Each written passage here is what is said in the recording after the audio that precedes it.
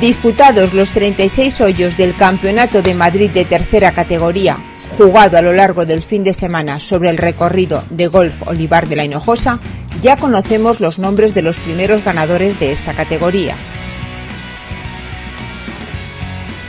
En el torneo femenino, donde ayer Paloma Menéndez tomaba la delantera, no hubo sorpresas. Los cinco golpes de ventaja que tenía la campeona al comienzo del domingo le fueron de mucha utilidad para no dejarse comer mucha distancia y terminar con cuatro golpes de ventaja sobre Irene Achaerandio. La clasificación handicap fue para María Cervera.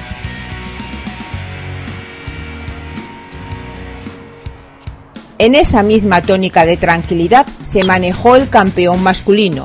El joven Daniel Linae se mantuvo sólido en su juego para aprovechar la oportunidad que se le presentaba en el magnífico resultado del primer día. Hoy, con 86 golpes, remató el campeonato para imponerse a Manuel Joven de Carballo, que fue subcampeón, mientras que Pablo Burgos se llevaba el trofeo handicap.